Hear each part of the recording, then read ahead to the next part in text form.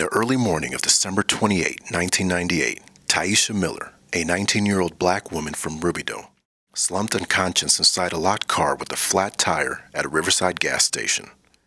She was shaking and foaming at the mouth, with a semi automatic pistol in her lap. When Dreamscape opens Saturday night at UC Riverside, officers will fire 12 bullets into a 19 year old girl. One, two, three, four, five, six, seven, eight, nine. What? Each shot will trigger a memory of her short life before the last three hits ended. That character is Myeisha Mills, who's asleep in her car with a loaded 38 on her lap.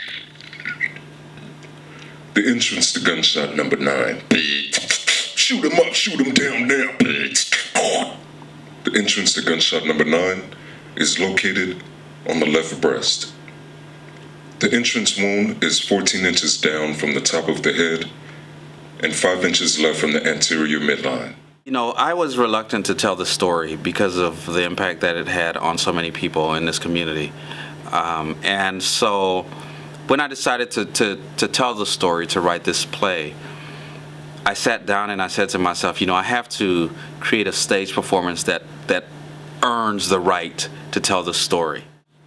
Close your eyes and wish that what you're seeing ain't nothing but a dream fable. And I'ma wake up 19 at your birthday table. Put a candle on the cake to add to the glow. Now, make your wish and blow.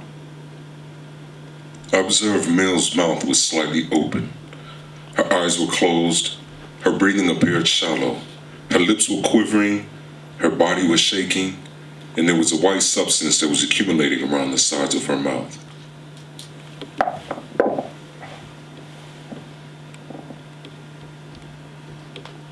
At 19, awaiting 20, knocking on heaven's door. For me, it was a matter of figuring out where should the story happen?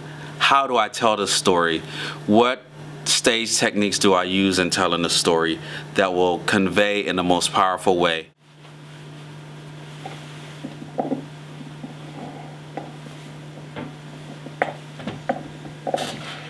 The entrance to gunshot number 10 is located on the left upper forehead. This is a typical distant gunshot wound entrance.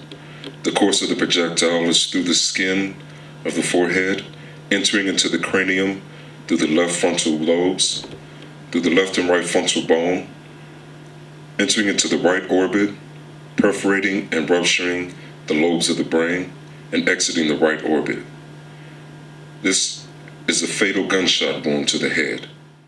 You know, the event, the aftermath of the event, and also, you know, ultimately, it is a theatrical production. It is a performance.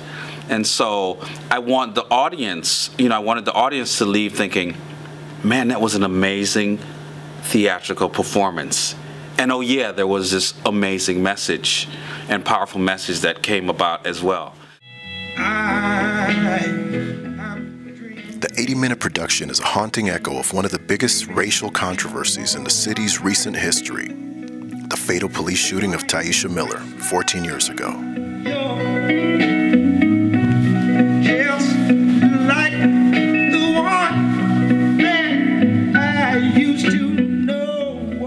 For the Press Enterprise and PE.com, this is Angel Ortiz.